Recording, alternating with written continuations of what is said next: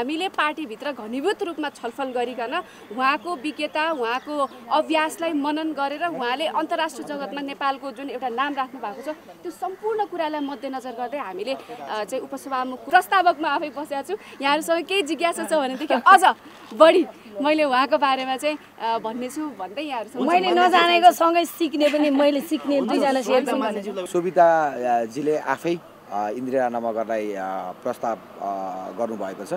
र उहाँ अयोग्य या इन्दिरा नमगर बढी योग्य भन्ने कुरा भन्दा पनि यसमा पार्टीका विभिन्न कुराहरू हुन्छन्। त्यसमा जस्तो संसदमा हाम्रो पार्टीले प्रभावकारी भूमिका निर्वाह गर्ने कुराहरू पनि हुन्छन्। म आफू एउटा कानुनको विद्यार्थी कानुन पढेको कानुन प्र्याक्टिस गरेको एउटा कानुनसँग अलिकति जान पहिचान भएको कारणले गर्दाखेरि भोलिका दिनमा ती विषयहरूमा पनि छलफल गरेर हामी टुङ्गोमा पुग्नेछौँ। सम्भवतः यहाँहरूले कुनै न कुनै उसमा चाहिँ केही पनि पदमा नभइरहँदाखेरि पनि सदनमा एउटा बुलन्द आवाज उठाउने सोभिता गौतम हो भन्ने कुरा यहाँहरूले देख्नुहुन्छ।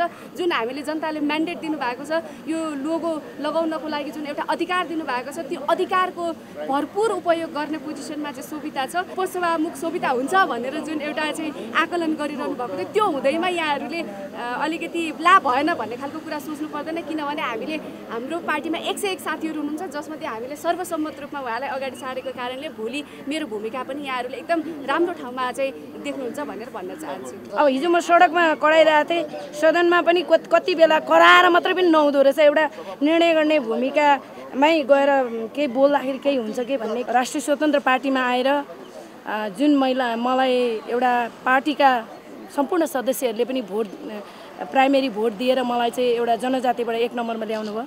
र आज मैले उपसभामुख जस्तो गरिमामय पदमा आउनु पाएको छु र राष्ट्रका संवैधानिक अङ्गहरूमा मैले पनि निर्णय गर्ने अधिकार मैले पाएको छु। उहाँ एकदमै दक्ष एकदमै योग्य र बिबिसीको टप हन्ड्रेड वुमेनमा पनि परिसकेको महिला भएको कारणले गर्दाखेरि उहाँ जस्तो योग्य उम्मेदवार हाम्रो लागि अरू उहाँ नै एकदमै योग्य देखेको कारणले हामीले उहाँलाई प्रस्ताव गर्ने निर्णय गऱ्यौँ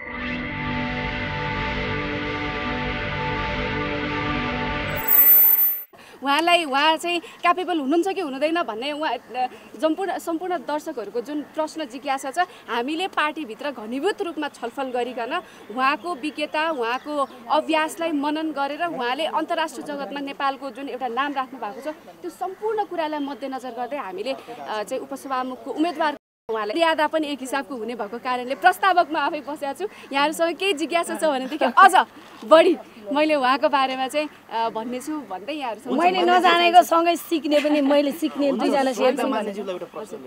उपनेता प्रमुख सचेतकदेखि लिएर समितिका सभापतिहरू पनि का कुराहरू पनि छन् सदस्य सचिवका कुराहरू पनि छन् धेरै कुराहरू छन् जस्तो आउने कुराहरूमा जसमा चाहिँ अब म आफू एउटा कानुनको विद्यार्थी कानुन पढेको कानुन प्र्याक्टिस गरेको एउटा कानुनसँग अलिकति जान पहिचान भएको कारणले गर्दाखेरि भोलिका दिनमा ती विषयहरूमा पनि छलफल गरेर हामी टुङ्गोमा पुग्नेछौँ। सम्भवतः यहाँहरूले कुनै न कुनै उसमा चाहिँ केही पनि पदमा नभइरहँदाखेरि पनि सदनमा एउटा बुलन्द आवाज उठाउने सोभिता गौतम हो भन्ने कुरा यहाँहरूले देख्नुहुन्छ। जुन हामीले जनताले म्यान्डेट दिनुभएको छ यो लोगो लगाउनको लागि जुन एउटा अधिकार दिनुभएको छ त्यो अधिकारको भरपुर उपयोग गर्ने पोजिसनमा चाहिँ सोभिता छ। यहाँहरूले उपसभामुख सोभिता हुन्छ भनेर जुन एउटा चाहिँ आकलन गरिरहनु भएको थियो त्यो हुँदैमा यहाँहरूले अलिकति ला भएन भन्ने खालको कुरा सोच्नु पर्दैन। किनभने हामीले हाम्रो पार्टीमा एक सय एक साथीहरू हुनुहुन्छ जसमध्ये हामीले सर्वसम्मत रूपमा उहाँलाई अगाडि सारेको कारणले भोलि मेरो भूमिका पनि यहाँहरूले एकदम राम्रो ठाउँमा चाहिँ देख्नुहुन्छ भनेर भन्न चाहन्छु। किनभने हिसाबले पनि कुनै पनि अब ठाउँमा हामी राजनीतिमा हामीमा आइ त सकेपछि म जसलाई पनि केही गरौँ देशको लागि भनेपछि त पदमै गएर नै केही गर्नुपर्छ भन्ने हो। अब हिजो म सडकमा कराइरहेको थिएँ सदनमा पनि कत- बेला कराएर मात्रै पनि नहुँदो रहेछ एउटा निर्णय गर्ने भूमिकामै गएर केही बोल्दाखेरि केही हुन्छ कि भन्ने किनभने यो उपसभामुख जस्तो पद चाहिँ कस्तो रहेछ भने मैले पनि हिजो स्टडी गरेँ। हाम्रो देशको जुन जुन पनि संवैधानिक अङ्गहरू छ नि त्यसमा मैले पनि एउटा भोट दिने अधिकार छ र मेरो एउटा निर्णयले पनि आम जनताको जीवनमा चाहिँ फरक पार्छ भन्ने मैले सोचेको छु। सँगसँगै हामी पार्टीका सबै साथीहरू सँगै नै छौँ। हामी जे पनि निर्णय सँगै गर्छौँ। छलफलबाटै हुने कुरा कारणले गर्दाखेरि उहाँलाई चाहिने उहाँका सम्पूर्ण विज्ञताको कुरामा पनि सोभिता गौतमको सधैँभरि साथ रहनेछ। मिडियालाई फेरि उहाँहरू दुईजना बाँडिनु भयो कि भन्ने एउटा आशंका उत्पन्न नहोस् भनेर मलाई एउटा हाँस हाँस उठ्ने कुरा चाहिँ गर्नु मन लाग्यो हिजो मैले त्यो जति पनि त्यो भाइरल त्यो उयोहरूमा हेरेको थिएँ नि त कमेन्टमा अब मेरो छोरीको उमेरको हुनुहुन्छ मेरो छोरी सत्ताइस वर्षको मेरो कहिलेको फोटो राखेर जम्मैले राम्री राम्री रहेछन् भनेर। तर मेरो एज त बाहन्न वर्ष भइस मैले जुन तेत्तिस वर्षसम्म जति पनि आम जनताकोहरू जो पीडित मानिसहरू छन् जेलमा मानव अधिकार नपाएर जो पीडाले छटपटाएका व्यक्तिहरू छन् उहाँहरूको आवाज उठाउँदाखेरि मैले त्यो आवाजहरू उठाउने ठाउँमा कहिले म पुग्न सकिनँ। तेत्तिस वर्षको मेरो यो लडाइँ। तर आज म राष्ट्रिय स्वतन्त्र पार्टीमा आएर जुन महिला मलाई एउटा पार्टीका सम्पूर्ण सदस्यहरूले पनि भोट प्राइमेरी भोट दिएर मलाई चाहिँ एउटा जनजातिबाट एक नम्बरमा ल्याउनु भयो। र आज मैले उपसभामुख जस्तो गरिमामय पदमा आउन पाएको छु र राष्ट्रका संवैधानिक अङ्गहरूमा मैले पनि निर्णय गर्ने अधिकार मैले पाएको छु। त्यो जस्तो मेरो लागि ठुलो कुरा केही पनि हुने छैन। आज मैले जे पनि निर्णय गर्छु आम जनताको हितमा निर्णय गर्नेछु र देशमा जे पनि परिवर्तनहरू अब आउनेछन् त्यो चाहिँ आम जनताको हितमा परिवर्तन हुनेछ भन्ने मैले चाहना राखेको छु। आफ्नो जितप्रति कति विश्वस्त हुनुहुन्छ भोलिको चुनाव विश्वस्त छु र सबै साथीहरूको मलाई साथ छ। मेरा बिसजना सांसद मान्यज्यूहरूको साथ छ र र पार्टीका साथीहरूको पनि मेरो साथ छ। विभिन्न जिल्लाबाट मलाई अहिले फोन हिजैदेखि फोन गरिरहेको थियो। तपाईँले दावेदारी छोड्नु हुँदैन। किनभने म पद र यो म मिडियामा पनि त्यति नजाने मान्छे हो। मैले अब जस्तो तेत्तिस वर्ष जुन म पारिजातलाई पनि म एकदमै धन्यवाद दिन चाहन्छु। उहाँले मलाई यो जेल क्षेत्रमा ल्याएर एउटा एउटा नयाँ गन्तव्य देखाउनु भए म चाहिँ मेरो मेन्टर चाहिँ निर्मल लामा पनि हो। त्यसले गर्दाखेरि मैले केही सङ्गठन गर्नलाई चाहिँ मैले निर्मल लामाबाट पनि म आपा भन्छु उहाँबाट पनि सिकेको उहाँलाई पनि म क्रेडिट दिन चाहन्छु। धन्यवाद।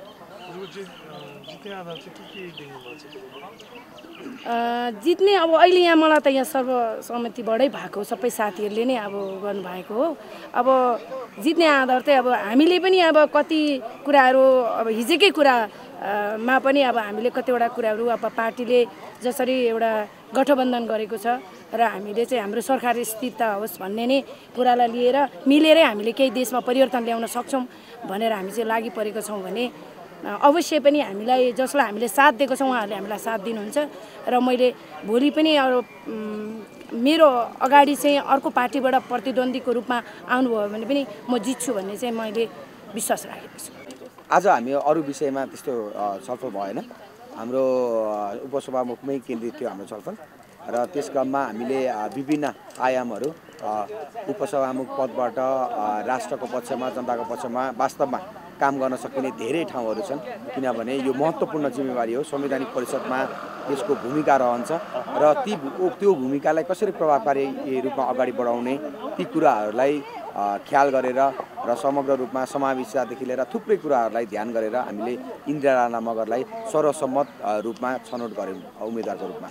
धेरैको चर्चा थियो सोभिता गौतम उपसभामुख बनाउँछ होला राष्ट्रिय स्वतन्त्र पार्टीले अथवा उहाँ चाहिँ प्रमुख दावेदार हो भन्ने खालको कुराहरू पनि आए। खास उहाँ किन अयोग्य हुनुभयो अथवा इन्दिरा राणा मगर बढी योग्य हुनुभयो? अ, सोभिताजीले आफै इन्दिरा राणा मगरलाई प्रस्ताव गर्नुभएको छ र उहाँ अयोग्य या इन्दिरा राणा मगर बढी योग्य भन्ने कुरा भन्दा पनि यसमा पार्टीका विभिन्न कुराहरू हुन्छन्। त्यसमा जस्तो संसदमा हाम्रो पार्टीले प्रभावकारी भूमिका निर्वाह गर्ने कुराहरू पनि हुन्छन् र यसमा अब एउटा सांसदको रूपमा उहाँले सङ्गठन विस्तारदेखि लिएर पार्टीका थुप्रै गतिविधिका कुराहरू हुन्छन्।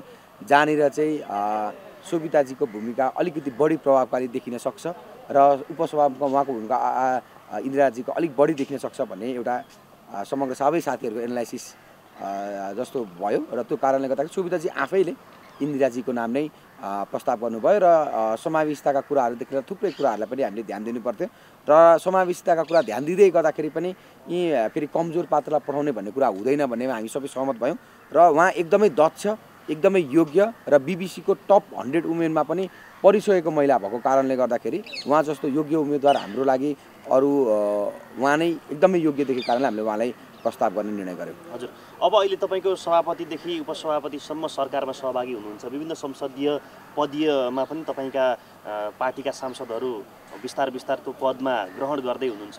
अब पार्टीलाई कसरी लानुहुन्छ? तपाईँ महामन्त्री भएको हिसाबमा कसरी अगाडि बढाउने सोच छ हजुर पार्टीमा विधानमा विभागहरूदेखि लिएर थुप्रै व्यवस्थाहरू छन्। पार्टीमा ती विभागहरू लगायत सङ्गठनका थुप्रै खाली ठाउँहरू अझै पनि खाली छन्।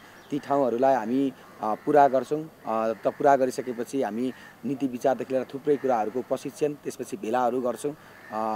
त्यसपछि छिटै त्यसपछि सबै कुराहरू पुरा भइसकेपछि महाधिवेशन गर्छौँ र पार्टीलाई एकदमै भाइब्रेन्ट बनाउँछौँ र पार्टीलाई पार्टीसँग संसदसँग पार्टीलाई आफ्नो पार्टीको सरकारसँग जोड्नको लागि योजनाहरू बनाएर हामी अगाडि बढ्छौँ। हाम्रा मन्त्रीहरूलाई पार्टीबाट कसरी एउटा टिम ब्याकअप बनेर सपोर्ट गर्ने हाम्रो सांसदहरूलाई कसरी एउटा टिम बनाएर ब्याकअप बनेर सपोर्ट गर्ने कसरी तल्लो तह जनतासँग कसरी जोड्ने उत्पादनसँग कसरी पार्टीलाई जोड्ने यी कुराहरूको योजना लगभग लगभग बनि पनि सकेका छन्। ती कुराहरूलाई अब कार्यान्वयन गरेर पार्टीलाई एकदमै भाइब्रेन्ट बनाएर अगाडि बढ्छौँ। हजुर।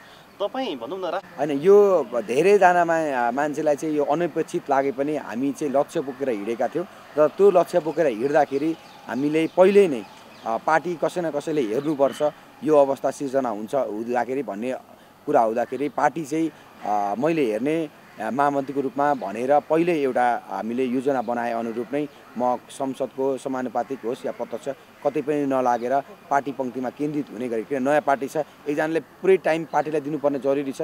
त्यो अनुरूप नै मैले उम्मेदवारी नदिएको हो र पार्टीलाई एउटा सङ्गठनात्मक ढाँचामा ढालिसकेपछि पार्टीको सङ्गठनलाई एउटा मजबुत बनाइसकेपछि आगामी चुनावहरूमा म पनि संसदको राजनीति संसदीय राजनीतिमा उभिनेछु तर अहिलेको लागि पार्टी बनाउन एकदमै आवश्यक छ र त्यसैमा मेरो ध्यान केन्द्रित हुनेछ।